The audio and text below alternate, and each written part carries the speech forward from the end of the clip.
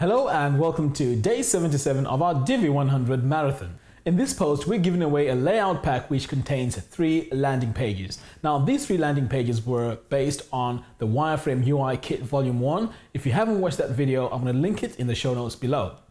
So I'll be showing you how to import, install, and how to use this layout pack. Now, before you can start using these landing pages, the first thing you need to do is to go ahead and download the files using the link provided in the show notes below. Now, once you've downloaded the files, they come in a zipped folder, so you need to go ahead and unzip that folder. Next, log into your WordPress admin and then go to Divi and then click on Divi Library. Okay, now go ahead and click on Import and Export and then click Import. Now this is time to choose the files. So click on choose file and then navigate to the folder where you downloaded these files. Mine is in the downloads folder and in this folder called DV100.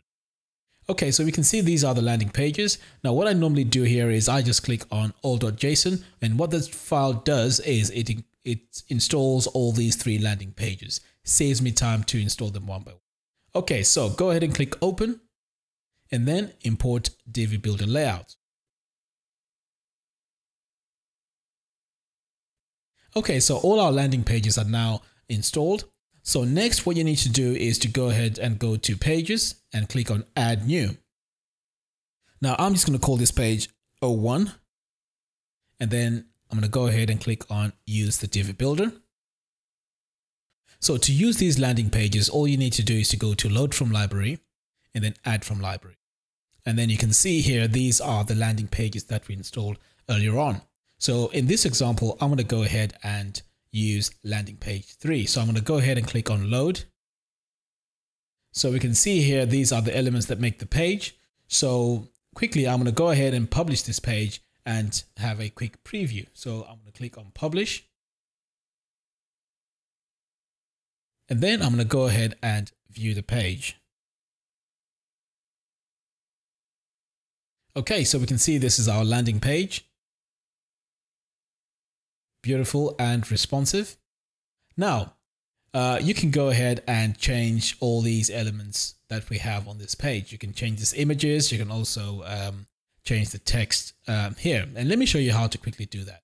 So all you need to do is to go into your um, uh, Divi Builder and then go into, into any of these uh, sections and then you can change the text here. If it's about the image, you can always go to this image um, section here click on the settings, and then you can upload your own image.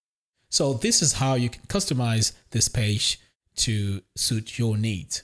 So there you have it. This is how you install and use this layout pack. If you like this video, please give us a thumbs up and do follow us on our social media platforms. We will be producing more and more of these videos. Until next time, thank you for watching.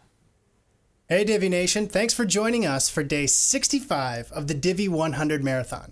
In this video, I'm going to show you how to install and use the new Divi Wireframe Layout Kit.